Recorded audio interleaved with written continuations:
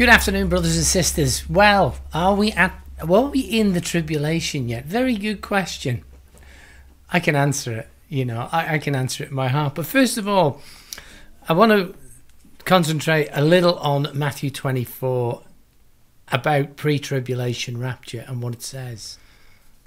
In chapter 24, 31, and he shall send his angels with a great sound of a trumpet, and they will gather together the elect, uh, the elect from the four winds, from one end of heaven to the other. I wonder who they could be. Must be someone in heaven already. Bearing in mind that Matthew 24 is up to 31 is for the Jews. It's all about what's going to happen in Israel in the tribulation. Okay? He couldn't, obviously, the writer, Matthew, couldn't um, align the scripture to say they had to write it as one. But it's quite clear we're talking about two things, two separate things here. And one is Israel in the first part, and one is the church age, the believers, the born again. Now, if you're wondering what this channel is about, it's about the promotion of the gospel of our Lord Jesus Christ and the advancement of the kingdom of Father God, whereby if you confess with your mouth that Jesus is Lord and believe in your heart that God raised him from the dead, you are saved, signed, sealed, and delivered on confession and belief. No other way, not by works. Okay, you're not good enough, neither am I. Um, Romans 3:23 for all have sinned and fallen short of God's grace. We are not worthy. We cannot work for it. It was a free gift, Ephesians 2 8 and 9. It is not of works. It is not of works. Good works will follow. Now, if you want to be saved, just type, I want to be saved in the comments, and I'll get back to you with scripture and confirmation of what I'm saying here today. But what is coming about is the Great Tribulation, is the tribulation. And we're going to touch a little on that as well, knowing that we are not in it, brothers and sisters. Now, we know that we are out of here pre trib because the word just said so. One example of it just saying so is that we are out of tribulation. And many more, and many, many more, if you rightfully divide the word. So, why are we not in tribulation? Well, let's have a look at what's happening in the tribulation, okay? Now, I better just put it on full screen. If we talk about the seals from Revelation 6, this is the last book in your Bible. By the way, if you're new new to the channel and you're new to Christ, don't forget to subscribe, guys, if you like what we're doing. Revelation 6, the Antichrist false peace. There'll be war, famine, death, and death of a quarter of the population destroyed.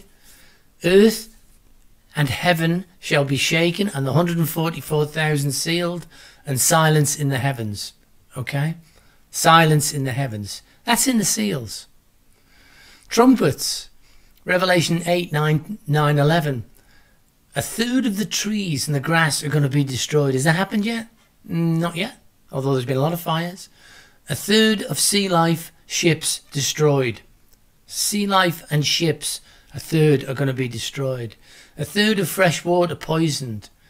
A third of the sun, moon, and stars darkened. First woe, demonic locusts demonic locusts. Second woe, fire and brimstone. A third of the people left or killed, left or killed after the seals. Prophets preach and do miracles. You haven't seen that yet? Christ's reign foreseen. Bowls. These are what's coming in tribulation, like the earth has never seen before. Boils. All sea life will be destroyed. All sea life will be destroyed all water poisoned, scorching sun, we won't be able to get out of it. Deep darkness, rebellious mankind curses curses God. We will cur- them that are left. It will be so bad that they will curse. And the Euphrates River dry. Battle of Armageddon. Okay, it's not dry yet. Worldwide earthquake. Babylon destroyed. Huge hailstones. That's the tribulation. Are we in the tribulation yet? No. No, no.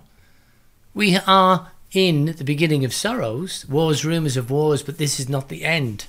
Okay? But we are definitely not in the tribulation.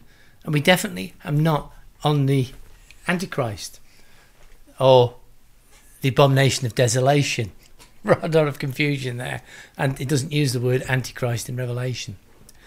It uses the word abomination of desolation as Daniel wrote.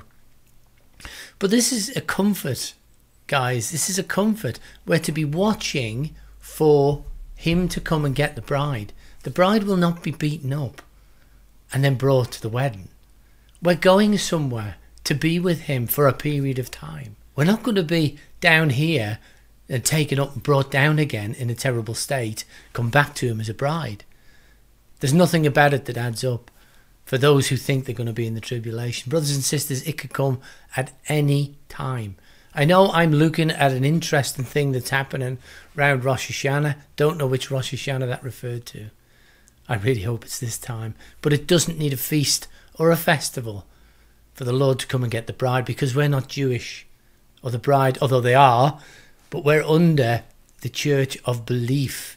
So if you believe that you are going in the rapture like the scripture says, then you'll be gone. If you don't believe, then good luck. Good one on that. So it's a very, very difficult one. Uh, meanwhile, what do we do? He says, Be about my business. And he gives us fine examples in Matthew 25, which is then firmly talking to the church age and the parable of the ten virgins, you know, keeping lamps lit, keeping watch, keeping Luke up, waiting for him. The parable of the three servants, okay? The final judgment comes on there as well. That's interesting. I must get onto that one.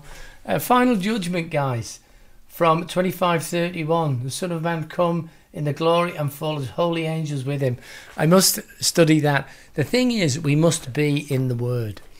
We're seeing so much on YouTube. You know, I've said in previous videos, it is confusion. And my God is not a God of confusion. We're just cherry picking video, video, video, and putting it on. We've got to watch the sorrows. Let's call it sorrows. We've got to watch the signs and the seasons, which we're doing. We've got to be in His business, which is quite clear in the virgins and the parable of the servants. We, we've got to be in that period of time right now because I don't know when he's coming. It could be a month, it could be, oh no, a year, but he could be today. We could be gone. We don't know. Nothing will snatch you out of God's hand, as it is written. Remember, Jesus said to Satan and the temptations, It is written. It is written that if we confess with our mouth that Jesus is Lord and believe in our heart that God raised him from the dead, Romans 10 9 and 10, it is written. It is also written in Romans 8 35 to 39 Who shall separate us from the love of Christ? Shall tribulation or distress, that's what we're going through now, distress, or persecution, or famine, or nakedness, or peril, or sword? It is written that thy sake for thy sake we are killed all day long. We are going through what could be classed as tribulation, but it's not the tribulation. It's not Jacob's trouble. It's not the seven years. All day long we are accounted as sheep for the slaughter. Nay, in all these things we are more than conquerors. What part of Scripture don't we understand? Don't get it? Through him that love us. Because we confessed, because we believe, not because we worked or did anything. For I am persuaded that neither death, nor life, nor angels, nor principalities, nor powers, nor things present, nor things to come, nor height, nor depth, nor any other creature shall be able to separate us from the love of God, which is in Christ Jesus our Lord. No other religion, no other faith, no other way. Jesus is the way, the truth, and the life. No man comes to God but by him.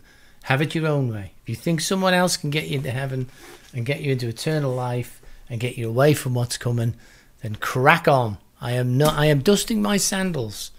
Okay? If you don't want to know, it's not my problem. It is not my problem. Brothers and sisters, where to go and spread the word.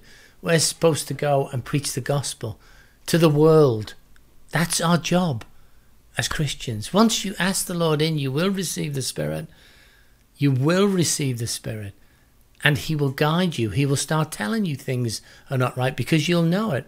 And if you read the word, which you should be doing, he will help you through it.